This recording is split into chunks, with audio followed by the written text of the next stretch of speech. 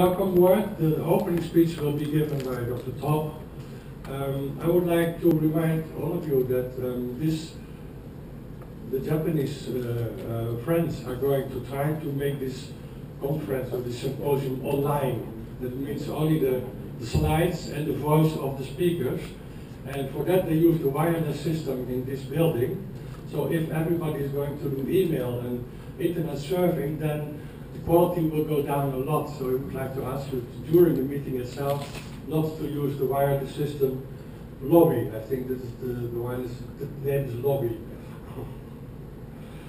um, I also would like already to, uh, to, to let you know that this symposium uh, was made possible by a generous gift from the uh, Japanese Society of, for the Promotion of Science which Dr. Nakazawa has tried all his best to get from the uh, Asia Africa Science Platform Program.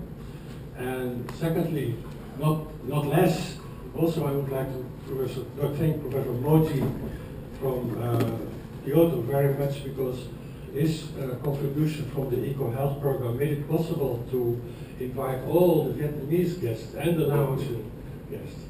So, with, after saying this, I would like to give the word to Dr. Top to open the symposium.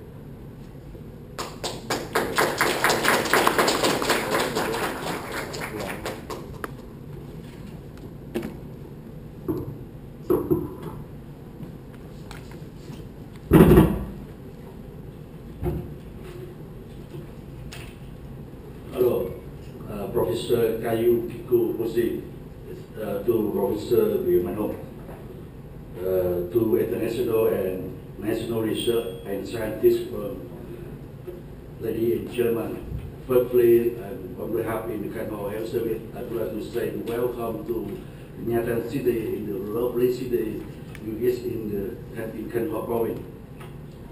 Khanh Hoa is a province with the epidemic of malaria, there were thousands infections and number of deaths reached 10 of people before.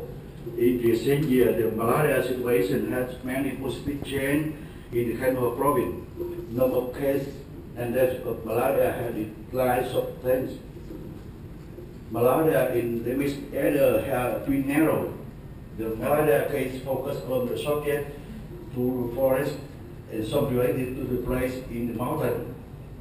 Thanks to